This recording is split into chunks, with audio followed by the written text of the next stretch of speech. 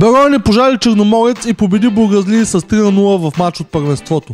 Още в третата минута Зарали получиха право да изпълнят прах свободен удар. За топката да стана Салим Киркар, който центрира в малкия пенал, където Иво Иванов засече с глава, но стражът на Черноморец улови. Резултатът бе открит 5 минути по-късно. Самир Аяз започна атака през центъра на терена, като подаде към Елиаш да Силва. Той от своя страна на продължи към Жуниор Мапуко, но защитник в син спортен екип изчисти кълбото от краката на конгуанският нападател. Той попадна право в Георги Андонов, който от границата на наказателното поле с путен изстрел в долния десен ъгъл на Живкович откри резултата. 1 на 0 за Бероя.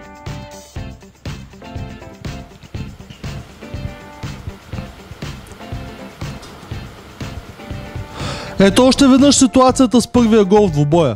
Атаката на Бероя, при която топката попадна в капитана Георги Андонов, който с плътен изстрел остави Живкович безпомощен.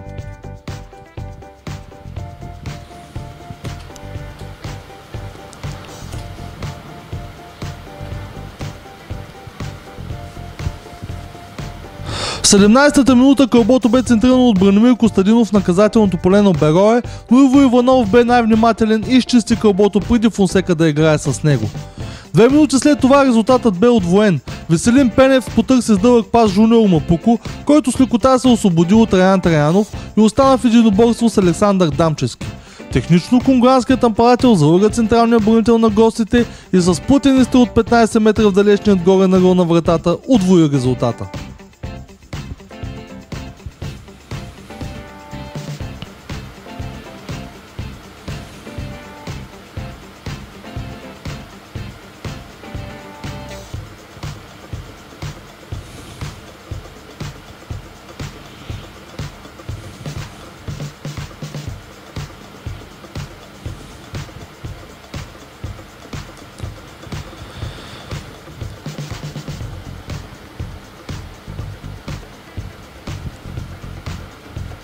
На повторението виждате дебютното попадение на Мапуко при индивидуалната му акция по левия фланг.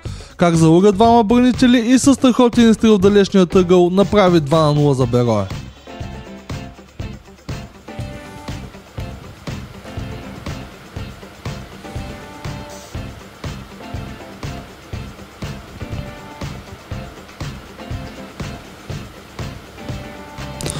Елиаш получи топката пред наказателното поле в 25-та минута, но притиснат от трима бранители в синьо реши да потърси намиращия се вдясно от него Георги Андонов, но капитанът не успя да нанесе добър удар към вратата и топката бе изчистена.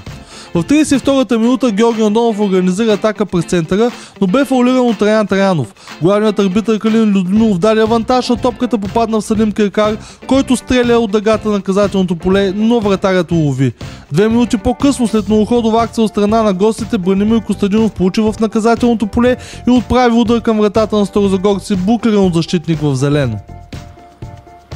В 39-та минута Веселин Пенев потърси с дълъг пас Елиаш да Силва, но той се оказа прекалено бърз за бразилския полузащитник и топката попадна директно в стража на гостите.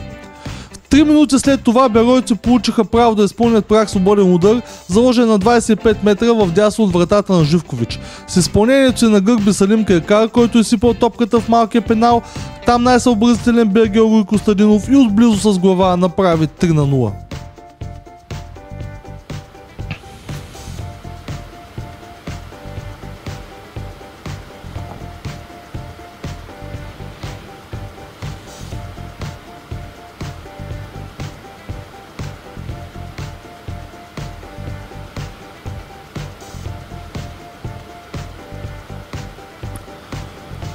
Виждате отново третия гол за нашия любим отбор в матча.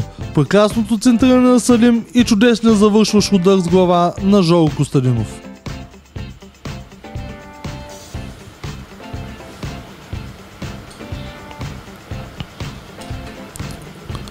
В 49-та минута Киркак центрира в наказателното поле на гостите, но вратарят изби. Кълбото попадна в Георги Костадинов, който стреля по земя, но отбраната на Черноморец се справи и изчисти. Секунди по-късно Георги Андонов напредна на скорост през центъра на терена и стреля, но стражът на гостите пърга в ъглов удар. В 53-та минута Бранимир Костадинов засече с глава центрирана топка в наказателното поле, но кълбото премина покрай целта. Съдим Карпър стреля от далечна дистанция в 61-та минута, но Младен Живкович бе внимателен в ситуацията и улови. Минута по-късно Георги Андонов бе изведен за защитата на гостите, но пресрещнат от Младен Живкович не успя да достигне кълбото, което бе избито от стража на гостите. В 66-та минута Симеон Райков стреля от прак свободен удар, заложен на 24 метра от вратата на Караджов, но топката премина високо над целта. Три минути след това Виктор Шишков проби отляво и стреля към вратата, но Младен Живкович бе взел правилното място и изчисти.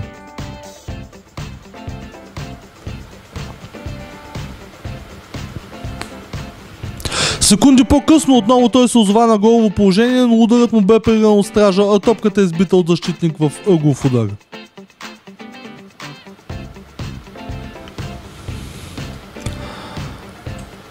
В 73-та минута отново Шишков бе изведен от Николай Чипев по десният фланг на атаката, но точно преди да отправи удар към вратата на Живкович, Александър Дамчевски се намеси решително и изчисти.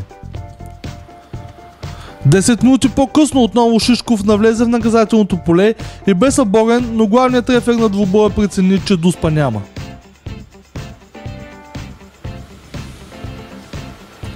Минута преди изсичането на редовните 90 отново той се озова на голова позиция след извеждащ пас на Иван Караджов, но ударът на Шишков попадна право в ръцете на Живкович.